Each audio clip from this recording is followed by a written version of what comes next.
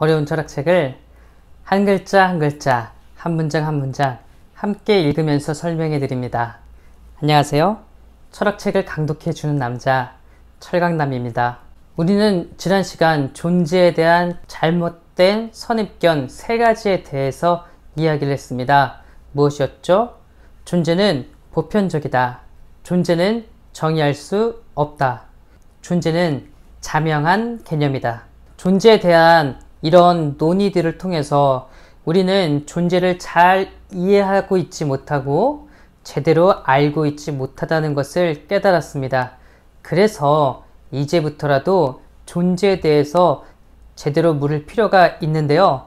하이데거는 과연 어떻게 존재에 대해서 물어야 된다고 하는지 우리가 함께 읽으면서 알아보도록 합시다. 함께 읽을 책은 9쪽입니다. 이 존재에 대한 물음의 형식적 구조. 존재 의미에 대한 물음이 제기되어야 한다. 그것이 하나의 물음, 아니 기초적 물음 바로 그것이라면 그러한 물음은 적합한 통찰을 필요로 한다.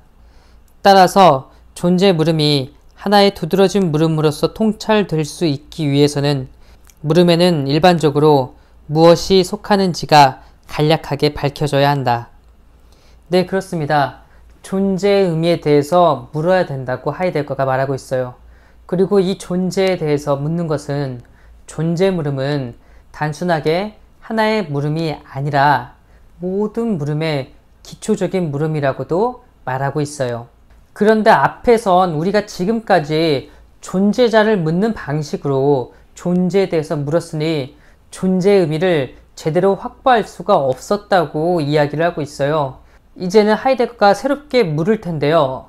뭐부터 시작할 거냐면 묻는다는 것이 무엇인가 그것부터 제대로 알고 가야 된다고 말하고 있어요. 과연 물음이 무엇인지 읽으면서 알아가 보도록 합시다. 물음이란 어느 것이나 하나의 탐구이다. 모든 탐구는 탐구되는 것으로부터 선행적으로 방향을 규정받는다. 물음은 존재자를 그 존재 사실과 존재 상태에 있어서 인식하면서 탐구하는 것이다. 하이데거는 말합니다. 물음은 탐구하는 것이라고 말해요. 그리고 한 발짝 더 나아가는데요. 물음은 탐구되는 것으로부터 선행적으로 방향을 결정받는다고 말하고 있어요. 더 쉽게 이야기하자면 이미 물음에 답이 있다고 생각하시면 좋을 것 같아요. 예를 들어 제가 설명을 해드릴게요. 자, 이 컵에 물이 있습니다. 이 컵에 들어있는 게 물인가요? 라고 물어보았다고 칩시다. 여러분들은 뭐라고 답하시겠습니까? 예, 물이에요 라고 하죠. 그런데 물음은 자고로 이 컵 안에 물이 있다는 이런 존재 사실로만 가지고 파악되는 것이 아니라고 그래요. 존재 상태도 함께 파악해야 된다고 말하고 있어요. 만약에 열심히 운동을 하고 땀을 많이 흘려서 갈증을 느끼는 사람이 다가와서 이게 물이에요? 라고 말하면 뭐라고 하시겠습니까? 음, 그것은 물이야. 라고 할 수도 있고요. 혹은, 어, 마셔! 이렇게 대답할 수도 있어요. 둘 중 어떻게 대답을 하든지 간에 여기에서 말하는 것은 너의 갈증을 해소해 줄 수 있는 거야 라는 그런 의미가 담겨 있을 것 같아요. 혹은 저쪽에 불을 지폈는데 그 불이 너무 커져서 지금 빨리 꺼야 되는 상황이라고 생각해 봅시다. 이거 물이에요? 라고 말하면 여러분들은 뭐라고 답하시겠습니까? 어, 이걸로 빨리 꺼! 이렇게 답하지 않을까요? 다른 상황도 생각해 볼게요. 지금은 과학 실험실입니다. 그래서 어떤 연구자가 물어보는 겁니다. 이것은 물이에요? 라고 말하면 네, H2O와 여러 미네랄이 섞여 있는 그런 물일 거예요. 라고 대답하지 않겠어요? 그리고 만약에 지금 이것이 꽃집이어서 저 화분에 있는 어떤 식물이 말라 있다면 그거 물이에요? 물음으로써 네 이거 가지고 저 식물에게 주시면 될 것 같아요. 이렇게 대답할 것 같아요. 이것처럼 우리는 보통 묻는다는 것에 대해서 그리고 그 물음에 답을 내놓는다는 것에 대해서 그렇게 크게 의미 있게 생각하지 않을지 모르겠는데 하이데거는 말하고 있습니다. 우리가 일반적으로 사용하는 그 물음에는 모두 그것이 이러저러하게 존재하는 사실과 함께 그 물음을 통하여 원하는 답을 이미 방향 지어져 있고 결정되어 있다고 말을 하고 있는 거예요. 어떻습니까? 여러분들이 봐도 그렇지 않나요? 저도 지금까지 언제나 물을 때는 원하는 의도를 가지고 물어보지 그냥 정말 아무 이유 없이 묻는 행동은 없었던 것 같아요. 계속 한번 읽어보도록 하겠습니다. 인식적 탐구는 물어주고 있는 것을 밝히면서 규정하는 것으로서 연구가 될 수 있다. 물음은 무엇 무엇에 대한 물음으로써 물어지는 것을 가지고 있다. 무엇 무엇에 대한 물음이란 어떤 방식으로든 무엇 무엇에 주의해서 물음을 거는 것이다. 따라서 물음에는 물어지는 것 이외에 물음이 걸리는 것이 속해 있다. 네, 그렇습니다. 지금 읽은 내용이 바로 제가 앞에서 설명해 드렸던 바로 그거예요. 모든 물음은 이렇게 존재 사실과 존재 상태에 입각해서 결정되어 있다고 앞에서 이야기를 했죠. 그러므로 인식적 탐구, 우리가 무엇인가를 알아가는 그런 물음은 자고로 내가 알고자 원하는 그것이 있고 그것에 대해서 자꾸 묻고 또 물으면서 파고 들므로써 명확한 이해를, 명확한 알을 갖고자 하는 거예요. 모든 물음에는 물어지는 것이 있고 물음이 걸리는 것이 있습니다. 자, 내가 이것은 물이야 라고 이렇게 물음을 던질 때는 이렇게 연구를 할 때는 꼭 어떤 대상을 놓고 그 다음에 그렇게 묻는 의미를 밝히고자 하는 것이 있다는 것과 똑같은 이야기예요. 연구적 물음, 즉 특수한 이론적 물음에 있어서는 물어지는 것이 규정되고 개념화되어야 한다. 물어지는 것에는 따라서 본래 지향되는 것, 즉 물어서 밝히는 것이 있으며 물음이 여기까지 도달하면 그 목표는 달성되는 것이다. 그렇습니다. 모든 물음은 영구적이에요. 잘 모르는 걸 지금 파악하고 알려고 하는 거예요.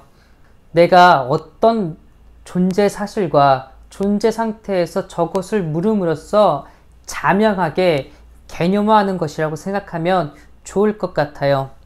이것은 물이야 라고 했을 때, 네, 이것은 물입니다. 그러므로 빨리 마셔서 당신의 갈증을 해결하세요. 그러므로 빨리 이 물을 가져가서 저 불을 끄세요. 그러므로 빨리 가져가서 연구를 하세요.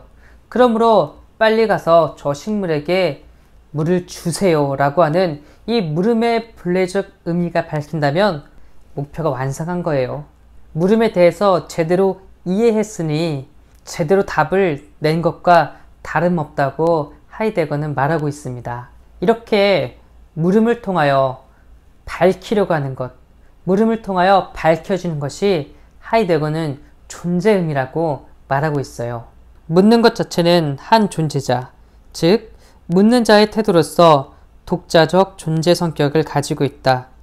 물음은 막연한 물음으로서 수행되기도 하고, 명시적 문제 제기로서 수행되기도 한다.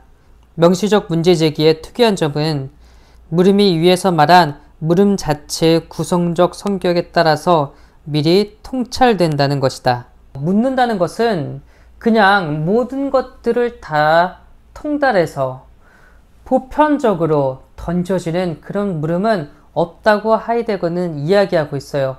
언제나 그 물음 자체가 물음이 행해지는 그런 상태에서 발현되기 때문에 각각 하나의 물음들은 그 나름대로 고유한 자리를 가지고 있다고 독자적인 성격을 가지고 있다고 하이데거가 이야기를 하고 있어요.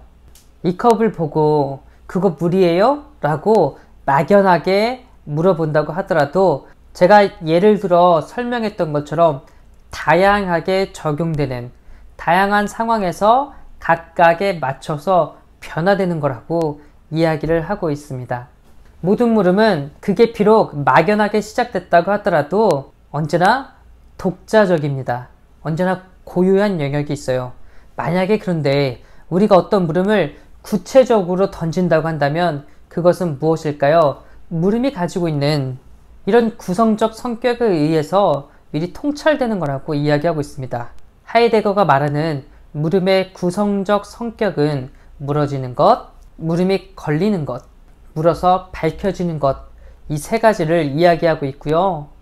이 물음의 의미를 잘 이해하고 이 물음의 구성적 성격을 잘 이해하는 사람은 물음을 더 또렷하게 명확하게 던질 수 있겠죠.